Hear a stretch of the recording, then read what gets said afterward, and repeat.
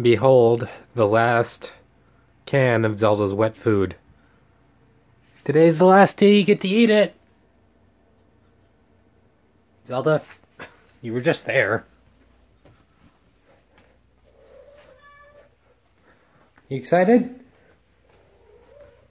Yeah, I bet.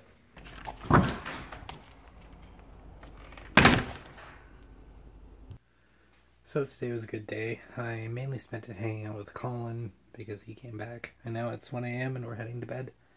Um, we also hung out with Camden and it's on Nightshade. My phone was dead, so I couldn't film it. But uh, yeah. Uh, hopefully, I can keep my sleep schedule on track tomorrow. I might tell Colin to wake me up just in case, but my phone's gonna die again. So yeah, I gotta end this clip. See you guys tomorrow.